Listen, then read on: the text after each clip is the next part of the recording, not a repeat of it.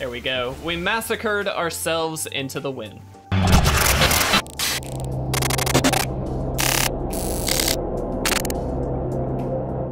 What's going on guys? If you want to support our content and pick up this month's amazing Patreon rewards, you can do so at patreon.com slash itresolves. If you're interested in custom playmats and sleeves, visit yourplaymat.com and use code ITRESOLVES10YP for 10% off your entire purchase. What is going on everybody and welcome back to another standard gameplay video. I hope you guys are doing exceptionally well on this fine, fine Sunday. I hope this is Sunday. I, am pre-recording. Anyway, guys, uh, please make sure if you're not already, please subscribe to the channel. It really would mean a lot to us. We have a giveaway going on right now for a free Neon Dynasty booster box, a full booster box that we'll be giving away on February 23rd after the set's release. So please do check that out as well. Subscribing is one way to enter, but let's talk Lier Control, guys. This is a Dimir Control list put together by another YouTuber, uh, Sonio, who I will link down below please go check him out. Uh, the the channel is awesome. It's a slightly larger channel than ours, uh, and he certainly does a lot of awesome gameplay and that kind of stuff. So please do check that out. But let's talk through the deck. It is kind of a tried and true classic Dimir control list. However, uh, it still focuses heavily on the Lier aspect. So the idea is if you can get Lier down, you can actually replay a lot of your instants and sorceries, of which we've got quite a few in uh, the early turns of the game. So consider Fading Hope, Bloodchief's Thirst, Duress, which is a nice way to discard the opponent's hand, uh, especially if you can continuously replay it, which is quite nice. Uh, Jwari Disruption, Test of Talents, Infernal Grasp, and Siphon Insight, all of which are great options for us. We also have things like Divide by Zero, Thirst for Discovery, uh, and then of course with Divide by Zero, the uh, the very, very handy uh, sideboard full of things. But uh, Memory Deluge is also in here, which again is very, very nice. But on top of that, we also have other ways that uh, we can kind of capitalize on these things. So for each one of these uh, extra instants and sorceries that we're hopefully going to play, we have Sedgemoor Witch, which is a fantastic creature, three mana menace for three uh, for a three-two with Ward of Pay three life, which is very helpful because any amount of damage is obviously gonna help.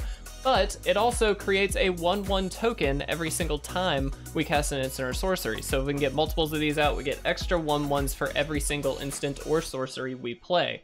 Now, for all of those, the idea is if we can Meathook Massacre, whenever a creature we control dies, each opponent loses a life. So what we might be able to do, and what we're hoping to be able to do, is spread the board out very, very wide, deal some damage, hopefully along the way, uh, and then if need be, finish them off with the Meathook Massacre. So there's some options here that uh, we can just finish them off with damage or hopefully finish them off even if we get into a board stall kind of position. Uh, we do have Overcharged Amalgam here, which is a fantastic little card. 3-3 for 4, Flash Flying and Exploit, and when you exploit it, you can counter a target spell, activated ability, or triggered ability. So what this allows us to do is essentially counter a spell with sacrificing a little 1-1 or whatever we need to, uh, and then hopefully getting that counter on a stick as well. Uh, now, again, Lier is sitting at the top here, allowing us to replay all of these, which is super handy. We do have some manlands, so Hall of the Storm Giants, just the powerhouse beater, but then also Hive of the Eye Tyrant, which allows us to exile cards from the defending player's graveyard. Now that can be very helpful depending on the kind of decks we find ourselves against, so we will want to utilize that from, from time to time. Uh, and then of course Field of Ruin is here, and Hall of Oracles, which allows us to put a 1-1 counter on target creature. You can only activate that as a sorcery and only if you've cast an instant or sorcery this turn, but that could also be kind of helpful just to add in a little extra damage here and there. So kind of an interesting inclusion. Again, I want to recommend go check out Sonio. Thank you so much for posting this list over on AetherHub. Uh, and, and, showing uh, basically creating such an awesome list because I do think this one is very, very good. We're going to test this out. We're going to send it through some games right now, hopefully get some wins and have some massive, massive fun along the way. So let's jump right in. Here we go, guys. We are in for game number one. Let's see what we can do here. Uh, interesting hand. Um, we do have some draw off of the Consider that we can work our way towards. I'm gonna go for it. We'll see if it works. We don't have a heavy black hand. We do have the Infernal Grasp, which we'd like to get down at some point, obviously, but for now, we will throw this out. We get a turn one Consider out, uh, and hopefully we can find ourselves a black source here. Uh, Field of Ruin. Hmm. You know, it is a land, so I'm gonna take it uh, just because it guarantees us the three, but that's even better. we just get to pass here. We can Jwari Disruption as we see fit. Uh, and worst case scenario, of course, we have Infernal Grasp, so... Um... Well, I guess no, because they can just counter, or uh, pay the one. Um, alright. I'll go ahead and kill this now, I think. Uh, we do need to be mana efficient as best we can, so I think that that's probably just the correct play. And we just get to pass here, leaving up basically any of these spells. Um, we could divide by zero. I don't love that idea, though. Uh, let's go ahead and thirst for discovery. Let's see what we can draw here. Uh, we can discard just a basic land, and I think we will here. I think that's perfectly fine. All right. Um, hmm trying to think what the best option is. I think it's just to throw... We do want to get the hive down at some point. Um, hmm. Yeah, let's throw that down and uh, we'll pass here. They're, it looks like stuck on lands, which is obviously useful for us. Um, and this Jwari Disruption might actually come in handy, so I kind of want to hold on to it. In fact, here we go. That is perfect. Uh, now they're still just left with the 1-1, which is perfectly fine. We can handle that. Easy peasy. All right. Good, good. Um, we have so many uh, black sources now uh, that unfortunately we're running out of blue sources. But again, I do want to leave up that Jwari Disruption just on the simple fact that if they've only got two mana, three mana now, it's very easy to just counter whatever they happen to have. And again, same thing. easy kill. Um, so I will happily take that. Uh, and I think we just let the one hit again. I'm not overly stressed about one damage here and there. Um, we've got plenty of ways we can deal with that later on in the game, so we will find our way. Uh, I think we just pass here pretty straightforward. Eventually, we might want to Field of Ruin the uh, green source, um, if nothing else, to get us our second blue source, which would be kind of nice. But we can actually activate this as a blocker, the uh, the Hive of the Eye Tyrants, as we'd like to. Uh, think we just bounce it. Perfect. I'll keep a kill spell. This is obviously a human's like training style deck, uh, so anything we can do to kind of keep things around is just going to be very helpful. Uh, sure.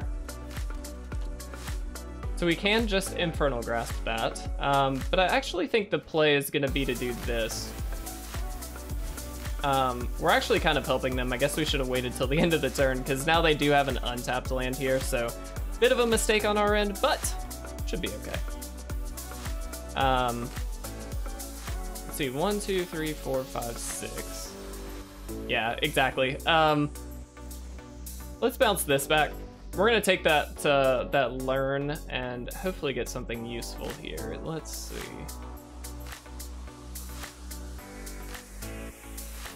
Hmm. I think I'm gonna take that. All right. Ooh, very good. Okay. Um, they did get just a plain white source, which makes me think they don't have green in their deck um, as a basic land source, which is kind of interesting. Cards. I think we'll just do this. Kind of a basic play, but I think it'll work just fine. Um, and I'm gonna go ahead and take the opportunity to play down the uh, Witch. This is so good to get down, especially with the overcharged amalgam in hand, amalgam. Uh, what we can do is start spitting out those tokens, and then of course using that to counter an ability or a, uh, a creature, of course. So lots of great options here. This is only a sorcery, so this they they can play it, but it's not necessarily going to be the most helpful. Uh, perfect. That is definitely going to get killed. uh, not a card we want to deal with if we don't have to, so we will definitely kill that. Ooh, there's the Lier. That's fascinating. Okay. Um, does that change things? I think we just play the Lier first. Um, what this allows us to do is go ahead and play this to, to kill this versus utilizing the one in our hand. Um, now we can attack here, but I don't think we do. I think we just pass. All right, I'm liking it. So far, so good. Uh, we've managed to control the game for the most part at this point. They've got another Voice of the Blessed. That's fine. The nice thing is we can just bounce that if it does happen to get too big to the indestructible level, so it's not actually, I mean, it's a big deal because it's annoying, but it's not like a massive problem for us. Ooh. um, all right, so first things first, we definitely just kill this. um, I think we will divide by zero on this. We're just kind of spreading the board out here as best we can, honestly. I'm gonna go ahead and get the mascot exhibition. I can't play that for the land side, that makes sense. Um, cool. And then we literally just get to attack in. Uh, so now we're starting on the, the pressure side of things, which is exactly where we want to be. We still have a Fading Hope, or a, yes, a Fading Hope and a Consider left up, as well as technically Jwari Disruption and Infernal Grasp, so we've got plenty of options here. Uh, very curious to see, oh, perfect. Uh, yep, easy counter. Uh, why would we not want to counter that? Yes? Oh, we can't counter. Spells can't be countered. Whoops. Uh, my fault. We still get a 1-1 out of the deal, so I'm kind of okay with that, but that was definitely just a mistake on my end. All right, what do we want to do? I think we definitely Infernal Grasp here. That is just too good to leave on the battlefield, unfortunately. Um, we can Fading Hope this. Uh, I mean, I guess we'll keep... Uh, it's not a bad card to have. Um, and we, we can't win this turn. Uh, it'd be great if we could, but I just don't think we can. Uh, let's go ahead and consider... We're just adding up um, all of these counters to the best of our abilities, so we can drop that down now. Um, let's go ahead and attack in. 6 plus, so 10 damage here. Um, do we want to meathook massacre is the question. I think not yet, is my assumption. Yeah, I think we just pass. Um, I like our odds, that's all I'm saying. This deck seems very efficient. Like, as a control deck, that's always something you have to look for, and this just seems perfect for it. That's a very good card, not one that I'm tremendously worried about, though. Um, again, we just get a very solid attack in next turn, and then we can Meathook Massacre for the win. Um, which most likely will be the play. They are, are gaining quite a bit of life, which is slightly annoying, but it's not the end of the world. Uh, let's go ahead and flash this Thirst for Discovery back here. Again, just maximizing the number of tokens that we can get. Uh, we do have to discard two cards here, which is a little upsetting, but yeah, not the end of the world. Memory Deluge and Shipwreck Marsh, perfectly fine. All right, let's play the marsh out. All right. Um, it does basically nothing. uh, we can memory deluge. Uh, alternatively, I guess we can just mascot exhibition. Hmm. Let's do this. Let's take this and this, I suppose. Really, Test of Talents, I guess, would have been a better option, but I don't really think it matters that much. So here we get to Fading Hope. Doesn't really matter what's on top of the deck. Um, get to Fading Hope again. So now we attack. Um, now, they can double block the Sedgemoor Witch, that doesn't really matter to me, um, because at this point, we're just planning to Meathook Massacre and kill everything anyway. um, so that's fine. Uh, yeah, I think, I think we just have this, guys. I think we're just that good. That's all it takes. Uh, Sonio obviously put a very, very well-structured deck together here. Let's Meathook Massacre for one. There we go. We massacred ourselves into the win. Look at that. I love it. Uh, fantastic. Absolutely awesome. Well done, game one. Let's see if we can do it again in game two right now. Alright guys, here we are for game number two. And yeah, I mean, I think this is a reasonable keep. We've got a turn one Fading Hope, turn two Jwari Disruption, and then for future turns we of course have Memory Deluge and some better stuff. But uh, I think this is good. Go ahead and play the Hive. That's actually fantastic. It gives us our second black source, but it also allows us to Jwari Disruption this turn if we needed to. Um, we definitely play the second black. The question is, do we Sedgemoor Witch? I think we do. I think at this point it's okay if we're off of the Jwari Disruption. I don't want to be because, yeah, exactly. Um, they definitely have a play there, but all good. Um, think we make sure we can uh, get somewhere with that. So let's attack in here. Get three damage in. We'll pass the turn. We leave that Fading Hope up. Um, huh. Oh, interesting. Okay, so we've got a bounce deck here. Uh, with that in mind, I'm gonna go ahead and bounce that. um, do we keep the land? I think we can. We're gonna want all the lands I think we can possibly get, so I'm cool with that. Let's throw that down. Let's get the attack in. We can counter anything on the way back down with the uh, the uh, amalgam. Um, so feel pretty good about that. Uh, that's fine. We'll let the Cleric class land. Uh, we'll exploit countering. And there we go. Uh, cool. That was pretty solid turn. um, we'll drop the land down. Uh, we'll attack in first.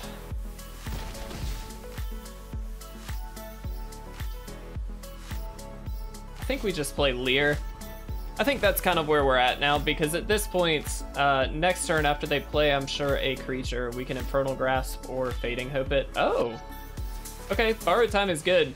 Um, but the trick is they still don't have a lot that they can do here. Um, and we're still dealing quite a bit per turn. Oh, we could have won.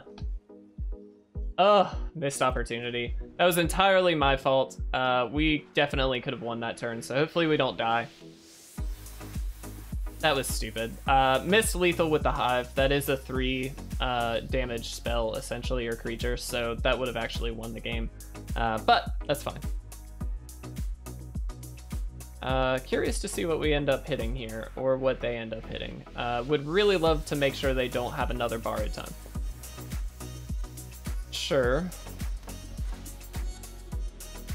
That really doesn't matter that much. They do gain some life, which is a bit annoying, but... Uh, let's...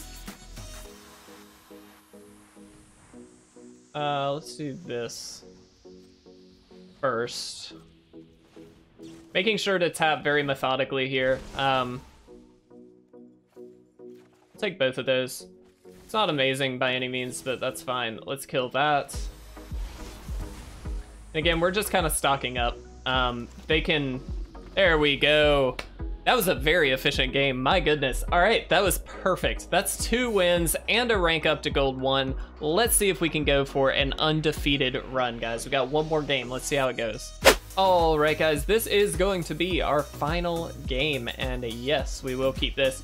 No one mana spell, obviously, but we do have the Disruption as well as Divide by Zero, Thirst, and Sedgemoor Witch, so feel pretty good about our hand this time around. Let's go ahead and lead on the blue source first, uh, and then follow that up with the Swamp, most likely. Um, Field of Ruin's good, but really not until later in the game, so not worried about getting that down, and I want to make sure we allow ourselves the double up on both colors. We've got Lier, we also have, um, uh, uh, oh gosh, the memory deluge, uh, as well as the amalgam and uh, the Meathook Massacre on the side of the swamps. So we want to make sure that we've got uh, both available to us. They are going to reveal a land. That's cool. All right, looks like life gain. Uh, pretty common, it seems like, that we have run into a lot of the life gain decks. Uh, now, this is an interesting one because it is the Orzhov version, uh, so very curious to see how this actually plays out. Um, a lot of times you just see mono white, but this seems pretty interesting. Hopefully this disruption actually hits something. Paladin class is a good one. I'll take it. Um, not tremendously worried about what I hit with that disruption, but Paladin class actually is pretty relevant. Um, it slows us down uh, as the control deck. It also powers them up, and I'm not interested in either of those two things. So, uh, all too happy to get that out of there immediately. Um, would love to draw just on the side the side of safety. I would love to have a Meathook Massacre just in hand, ready to go, or at least some amount of kill spells, because at the moment, obviously, we're a bit light on that. We do have Divide by Zero, though, so hopefully that might come in handy. We definitely end up playing the Witch, I think, this upcoming turn, no doubt, so we'll see how this goes. Opponent, taking a little bit of time. Perfectly fine. All right, let's go ahead and get the Witch out there. Again, just allowing us a little bit of extra bonus, extra value off of all of our instants and sorcery is certainly worth it to me. Uh, and a threat. I mean, it, it has menace, so they have to double block it if they're gonna block it at all. With the divide by zero, that does make it a bit challenging as well for them, so I, I think it's definitely worth it. Cool. They do have three mana available to them this turn, and then just that Soulmender out. Um, no plays, though. That's fascinating. Um, let's see what happens. We're gonna attack in first. Uh, we've got the divide by zero for a little bit of backup here, so I'm not terribly worried about what they could have. Um, the question is, do we go for the second witch? I think I will. Uh, a bit of a greedy play. I think the safe play is definitely just divide by zero, but the trick here is that we're really piling on at this point when all they're doing is gaining a life per turn, and if we can keep them off of that uh, high life total, we're, we're doing okay. Um, very interested to see how this goes, though.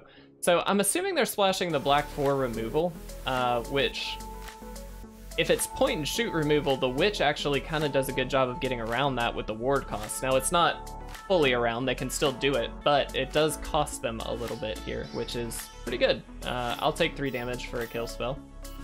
In this instance, of course. It looks like they do have one. That's fine. We're gonna have to pay 3 to do it, and this takes up their entire turn, uh, which is kind of awesome. um, because next turn we obviously have a lot more that we can utilize here, so we certainly will be doing so.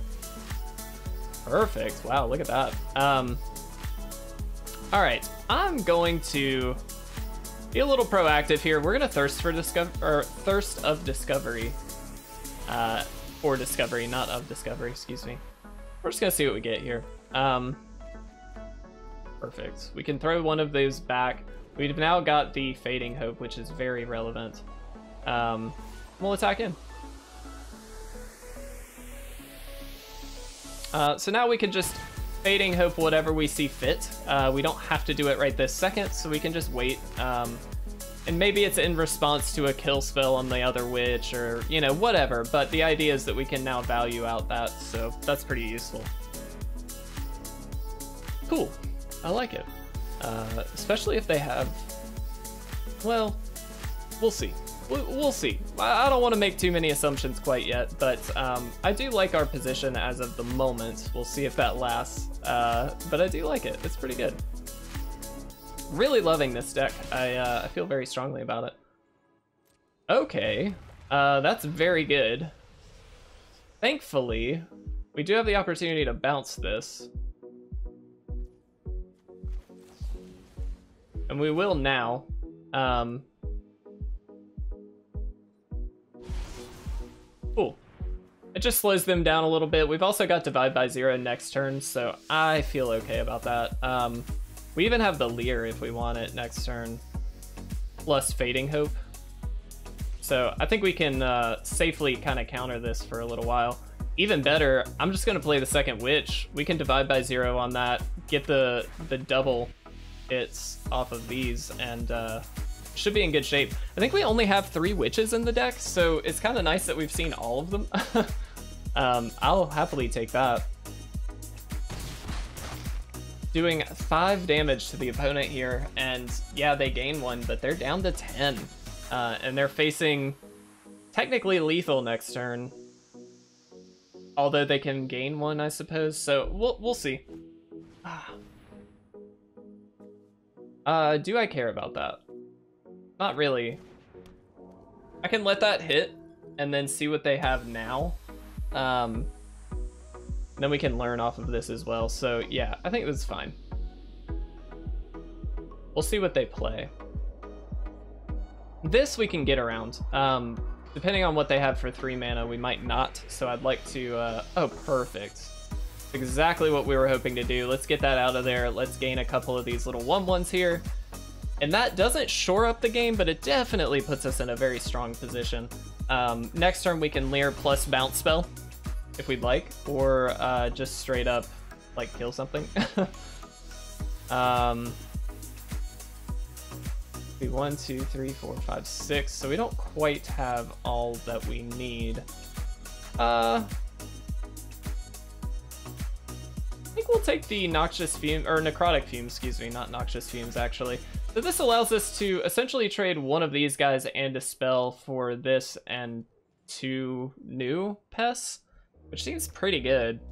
Um, there's a duress also, that's kind of interesting. Um, I guess we should have done this first, but I think it's fine. Let's attack in here. Let them do their thing. I guess we could have also leered first. Maybe it was better to play something else, but I don't know. I kind of don't think it's going to matter too much. We'll see. What they should do is block with both creatures, I suppose, and then gain a life with the Soulmender. That'd be pretty good. Um, but they have to double block one of the witches if they're going to go that route. So kind of nice that we get that opportunity here. Uh, no, I guess we do want to hit the voice first. Yeah. So if we hit the voice first... what? All right. Uh, wow, guys. Well, let's uh, let's chat about this. All right, so the opponent definitely gave up pretty quick there on that turn. Uh, don't know that they had 100% lost, but it was definitely kind of writing on the wall at that point. But guys, we went undefeated with this Lier control list brought to us by Sonio. Again, please check out Sonio's channel. Link is down below. Uh, and thank you so much for sharing this deck. I think it was a really, really good one. Obviously, it played out perfectly, uh, and I couldn't have asked for anything better. So thank you so much uh, to Sonio. Thank you for all of you guys watching. I really do appreciate it. Hope you guys have a fantastic Sunday, and hopefully we will see you guys again soon. We are going on like two weeks of nonstop gameplay, I think now, which is pretty awesome. And it's all pre-recording, so I'm trying to get ahead on it uh, to keep it coming. So thank you guys so much. I hope you enjoyed it. I'll see you again very soon. Don't forget to subscribe and like if you haven't already, but I'll see you guys in the next gameplay video.